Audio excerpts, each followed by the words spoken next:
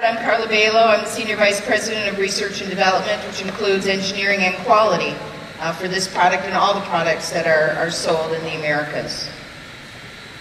What I want to start with, I'm going to give you a brief business update of uh, Nissan overall in North America, and then I'm going to go into how the engineering teams here in the Americas worked on this product.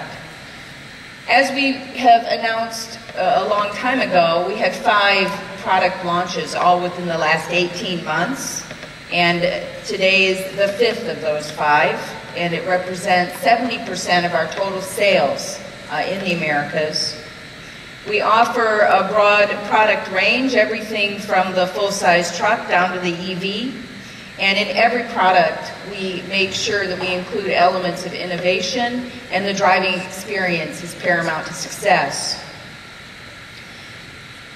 When we look at, at, the range from the Leaf to the Rogue, and the Rogue especially, you're going to notice when you drive the vehicle later today that really there's all kinds of uh, wonderful features, there. and the driving experience itself is, is very well balanced for the enthusiast as well as for the everyday driving.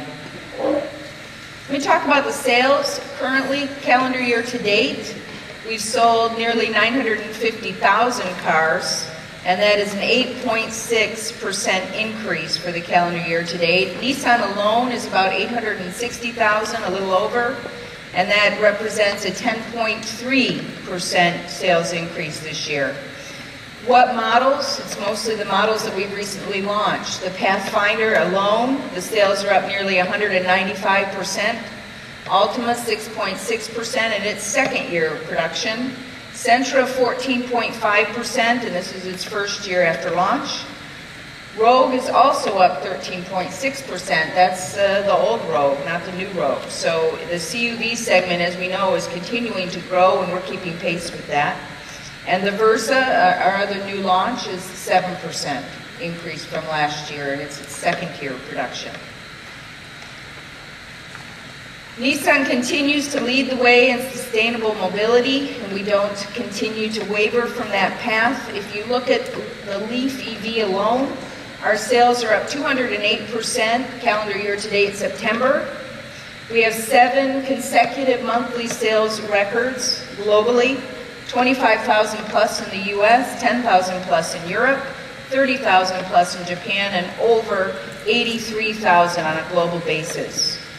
As I think probably many of you already know, leaf production is being done here locally in Smyrna, and also the batteries are now being made in Smyrna. For the first time since we joined with uh, Renault, this is our first globally shared platform. It's called CMF Platform. It took the best elements of the Nissan C segment platform and the best of the Renault C segment and blended them together to have the optimized uh, uh, platform that we could then utilize on our products globally for both companies. In terms of numbers, when we look just at Nissan side, the Rogue is shared with uh, the X-Trail and the Qashqai on a global basis.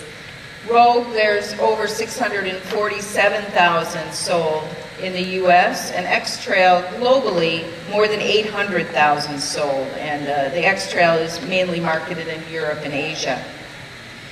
When you look at uh, how the CMF uh, architecture was, was managed, we've been uh, a partner with Renault since 1999, and now it's 2013, and this is our first first shared platform. And many people probably think that it's it's a long time, but actually it's not uh, when you really think about how, what has to happen in order to choose the best elements of the platform, what models you want to put it on, what segment does it make sense, talk about the global purchasing strategy, etc.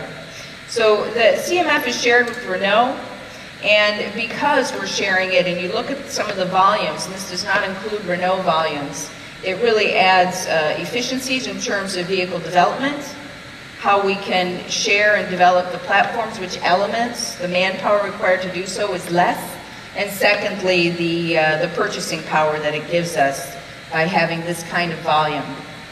We're going to sell this platform in more than 190 countries globally. And what did my team in the U.S. do um, for the American development. First of all, we are responsible for anything related to uh, vehicle performance. So from the very early stages of this product, we were involved in establishing all of the target performances for this car. And what did we do differently for the American market? We made sure that the fuel efficiency was as it needed to be. Secondly, the handling and ride was what our customers expected.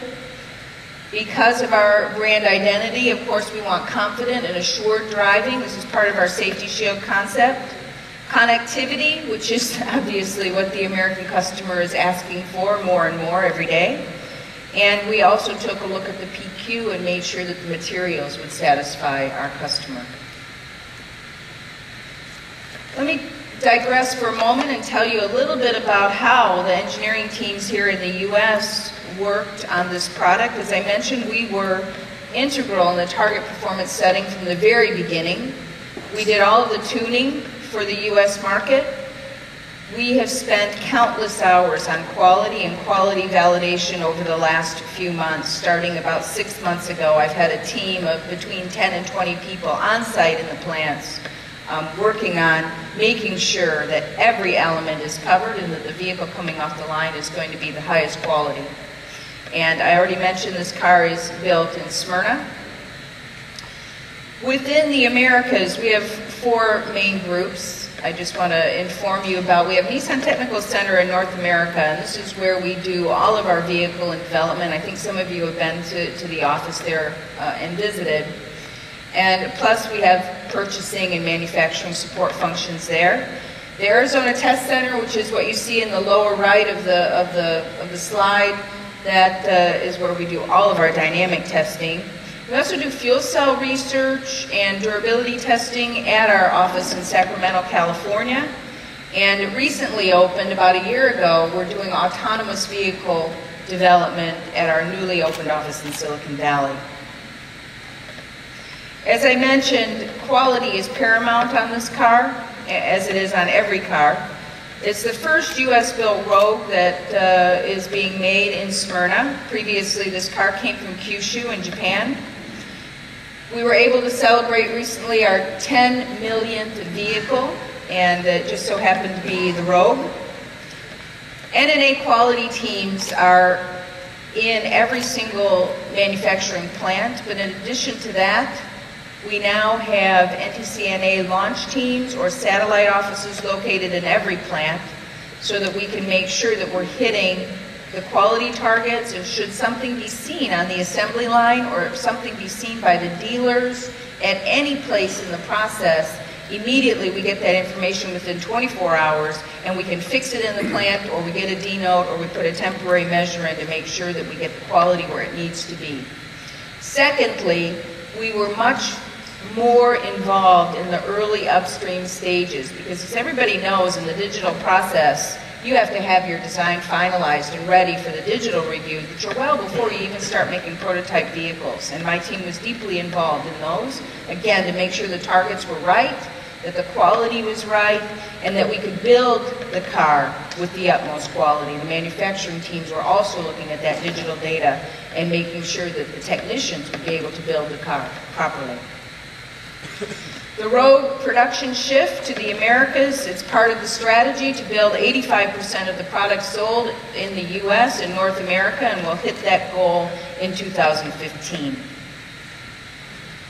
As I mentioned, this is the fifth of five. Smyrna's been busy, and uh, it's been a challenge, but uh, we've got some great products coming out. The Infiniti Q60 was the first car to launch, followed by the Altima, Pathfinder, Leaf, and now today, happily, the Rogue. And there's more to come. We now have six core models produced in Smyrna. We had to start a third shift. That was done about a year ago.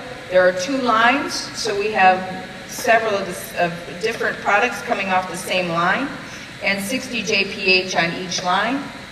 This year we'll build almost 500,000 cars in Smyrna, and in calendar year 14, we're going to be in the, in the neighborhood of 600,000 plus. Thank you for your attention. Now.